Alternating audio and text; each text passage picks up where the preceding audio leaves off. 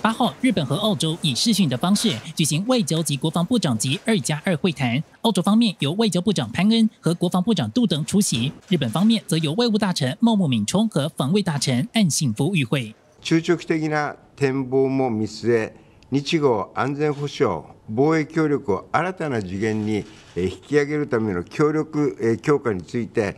対極的な議論を行いたいと思います東シナ海や南シナ海における力による一方的な現状変更の試みは、より深刻度を増してきました。コロナにコロナ禍に乗じ、自らに有利な秩序の形成を、また影響力の拡大を目指した動きも見られます。值得注意的是，日本共同社报道，日澳两国确认将把澳洲军队列入自卫队、保护他国舰艇等的武器等防护对象。自衛隊が平時から外国の艦船などを守る武器等防護についても両国間による実施に向けた準備が完了したということです。オーストラリアの要請を受け実施されればアメリカ以外では初めてとなります。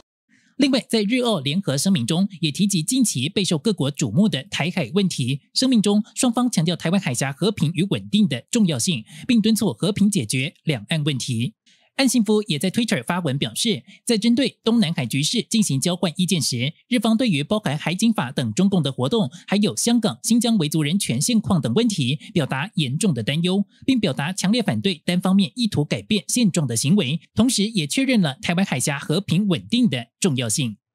新唐人也在电视张起林综合报道。